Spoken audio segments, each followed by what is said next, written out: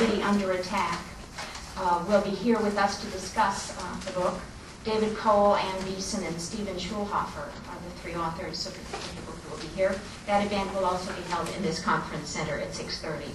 On the 21st of June, the ambassador of Indonesia will host a briefing and special cultural evening at his embassy for World Affairs Council members and their guests.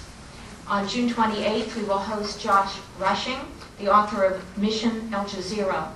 The former Marine Corps captain and spokesperson at CENTCOM headquarters in Doha, Qatar, is now the military and current affairs correspondent for Al Jazeera English language television channel. The membership table will be available in the lobby after this presentation. For members joining this evening, we have a special premium gift for your membership. As always, and as a courtesy to our speaker and to your fellow audience, please take a moment to turn off your cell phone at this time.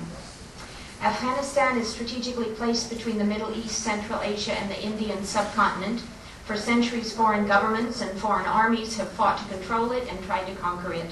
Each in their turn has been defeated by the rugged terrain and fierce resistance from the groups living there. In October 20, in 2001, U.S. and NATO allies attacked the Taliban government, driving them from power in Kabul and setting in motion a series of events leading to the ratification of a constitution, election of a national assembly, and the election of Hamid Karzai as president in 2004. However, while U.S. attention has been drawn to Iraq in the past four years, the Taliban have staged a comeback of sorts. Huge areas outside the capital are controlled by the warlords, and Afghanistan still produces approximately 90% of the world's opium crop. In April 2006, the Council of Foreign Relations reported that, quote, the world thus far had put Afghanistan on life support rather than investing in a cure. Afghanistan has the potential to be a disastrous situation if intelligent, measured steps are not taken, end quote. Tonight we will hear a briefing on the state of security and reconstruction efforts underway from a man who is perhaps uniquely qualified to help us understand the situation and needs of Afghanistan today. Prior to his appointment of, uh, as Afghanistan's ambassador to Washington in December 2004, Ambassador Jawad served as the presidential press secretary, chief of staff, and director of the Office of International Relations. He was instrumental in drafting the foreign investment laws and in developing the Constitution. Ambassador Jawad was educated at the Afghan French Lycée Istiklal and School of Law and Political Science at Kabul University.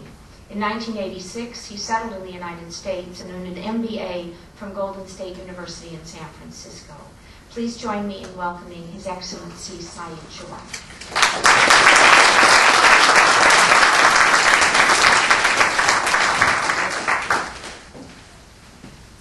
Thank you very much for a kind introduction.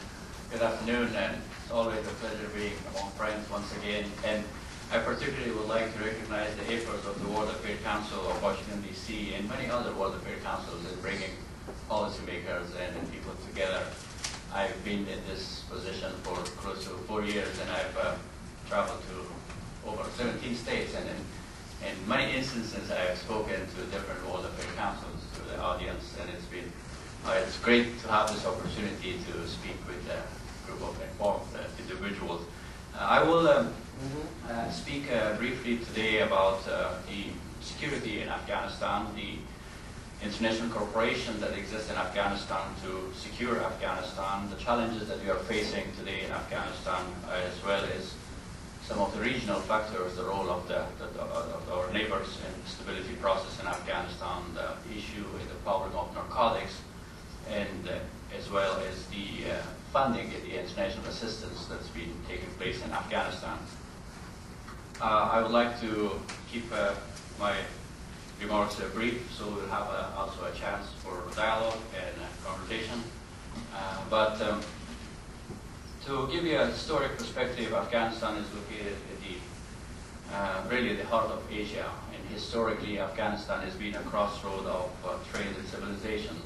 the historic Silk Road not only trans transported uh, goods from, from part of China all the way to Afghanistan, to, to Europe, but also, and more importantly, knowledge. It was a, also a bridge of civilizations and culture.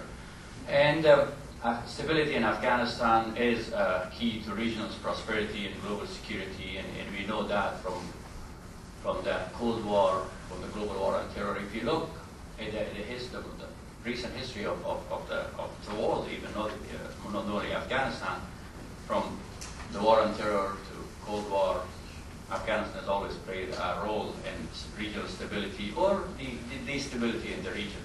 Afghanistan is the original front of the war on terror. That's where you were attacked in New York and, and, and uh, many other places, and it remains and it keeps its significance.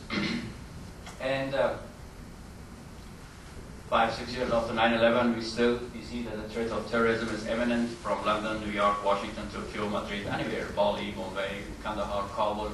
We are all facing the threat of terrorism, and we continue to face this. That threat, on one hand, creates actually a serious uh, threat for regional stability, for global security, but on the other hand, have also united many people across the world to fight this threat together. Right? Just to give you some statistics, the international consensus in Afghanistan is very strong. It's not only the U.S. that's participating in Afghanistan. ISAF, the International Security Assistance Forces, is completely now led by NATO, and 60 countries are providing funds to in the reconstruction process in Afghanistan. 36 countries have troops present in Afghanistan. 41 countries are just helping train the Afghan National Army and National Police Force. Uh, 16 countries have provincial reconstruction teams uh, that are helping not only with the security but also delivering some basic services in many parts of the, in many provinces in Afghanistan. An important asset that we have in Afghanistan is the popular support and the goodwill of the Afghan people for the presence of the international community and for uh, very active participation in the political process. And this is an important asset, particularly when we live in a troubled time, in a time that the terrorists, the extremists all over the world are trying to build walls. The Afghan people are trying to build bridges. The country is a bridge. Like the history of the country has been a bridge of. And as much as it's an asset to have these all countries involved in assisting Afghanistan, but if you just look at the color code on that map, it is also a challenge. We have, when you have 16 different countries having PRTs in the country, when you have uh, 36 countries having troops in Afghanistan, it is the, the, the, the issue or the task of coordination is, is very difficult. We have, as you know, NATO for the first time is, is stepping out of its traditional sphere of operation, which was basically Europe and was basically defending itself within its boundary against an invading army. Now it's getting out and it's going to place, a fourth place, like Afghanistan, and it's fighting the war on terror. a new, completely new mission. So some of the security challenges that you're facing, and I'll be talking about, uh, has to do also with the issue of coordinating so many different players, so many different stakeholders. and today we, we face security challenges in Afghanistan. We, we last year, we, the, the, the number of the suicide attack in Afghanistan increased uh, almost uh, 400%. Uh, 400, uh, 4,000 Afghans have lost their life in Afghanistan uh, due to the terrorist attacks and terrorist activities. Suicide attacks went up 600%, I'm sorry, but from only 27 in, in 2005 to over 139 in 2006. And this is a new phenomenon in Afghanistan. Unfortunately, we were forced for many years to, to fight the Soviets and others and, and the history of the country. We never had suicide bombing. We had 200,000 U.S. Uh, Soviet soldiers in Afghanistan, a lot of them in big cities, but there was no one single incident of suicide bombing, while we fought them very hard. Uh, this is due to the infusion of the extremism into the Afghan society that took place for many years. Uh, a foreign element that foreign money and also foreign ideologies play a very role in it.